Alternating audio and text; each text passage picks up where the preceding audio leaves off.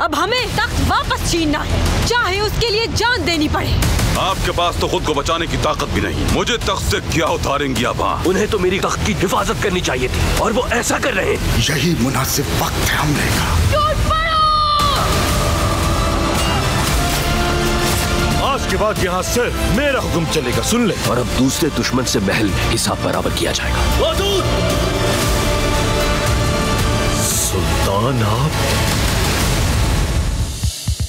सुल्तान सलाहुद्दीन अयूबी पीर से जुमेरात शब नौ बजे।